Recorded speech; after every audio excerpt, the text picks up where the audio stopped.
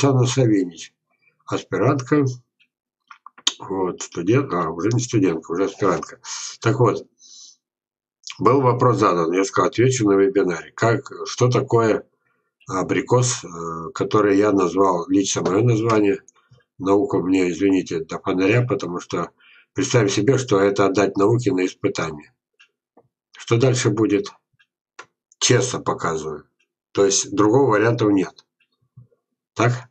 Поэтому остается, дал название тому, кто умудрился здесь его практически ранировать, то есть Филиппев Володя Владимир Викторович. Уникальный садовод. От него пользы больше, чем от всех, всех вот этих. У нас же несколько научных утверждений, так вот от него пользы больше, чем от всех них. Заметьте, не себя выпячиваю, а человека, который этого достоин.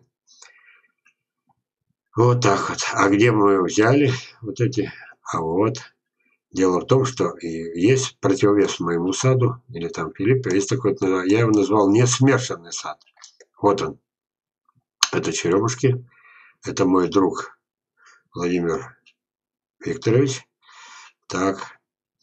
Значит, он вырастил пять деревьев, четыре из них, то есть два Филиппева, два моих, все уникальнейшие, уникальнейшие. Вот. И почему? А у них плоды крупнее, чем даже чуть-чуть у меня или у Филиппева. Да потому, что я его назвал, это учеба, не смешанный сад. У меня через один. Королевский манжурец, королевский манжурец, бай манжурец, манитоба манжурец, э, серафим манжурец. Вот, вы думаете, не влияет? Ага, Короче говоря, э, назовем это, я бы это назвал, э, как бы я бы назвал? Я бы назвал это э,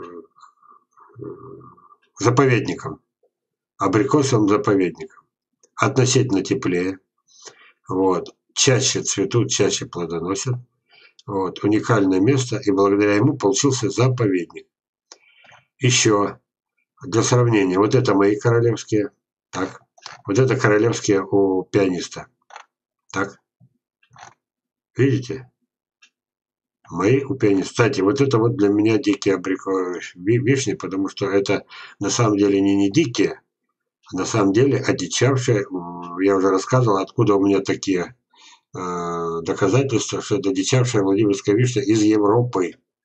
Из Европы. Вот Поэтому все про глюкоз пока не смотрим. Смотрим на вишню. А вот это черешня. Вот. Для вас напоминаю, год потерян.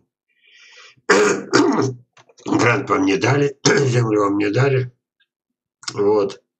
Но мы еще об этом поговорим.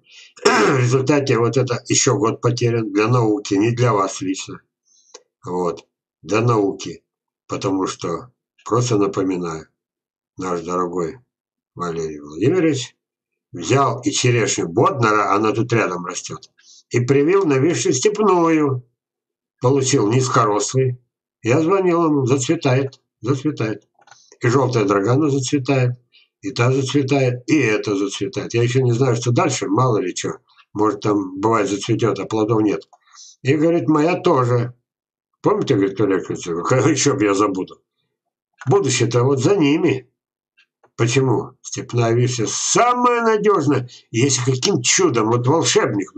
Ну, почему? Музыканты. Музыканты они такие от того мира, где волшебство творят.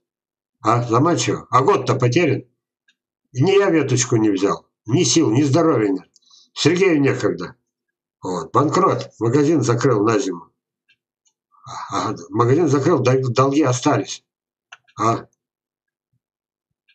Все осталось, ипотека осталась, кредит остался. Кто, кому это надо, что у человека вот сделал первый важный шаг. Она взялась на степную вишню привелась. Я тоже привел на степную вишню. Я 30 лет назад привел на степную вишню. Через два года она умерла. А у него засветает. Ну, кто из нас волшебник? Железов или этот самый? Или пианист? А Тимошка когда вырастет-то? Ждать, ждать будем, вон он на, на дальнем плане мой внук. Дождемся ли? Да вы думаете, я это вам упрек ставлю, Александр? Вы сейчас опять в Москву, имея только стипендию за душой, опять в Москву за свой счет поедете. Елки-палки. Ну и это самое. Ну, с, ней, с этой дамой не получилось садовода. Вот, если было бы навыки у нее садовода, наверное, я бы ее как-то прокормил, то есть платил бы типа зарплаты, я же зарабатываю на семенах. Вот, чтобы передать ей потом дела. Не, пошла в магазин, устроилась работать. И по 12 часов в магазине. Вот тебе и садовод. Только в качестве этой, э, как их называют, модели красуется.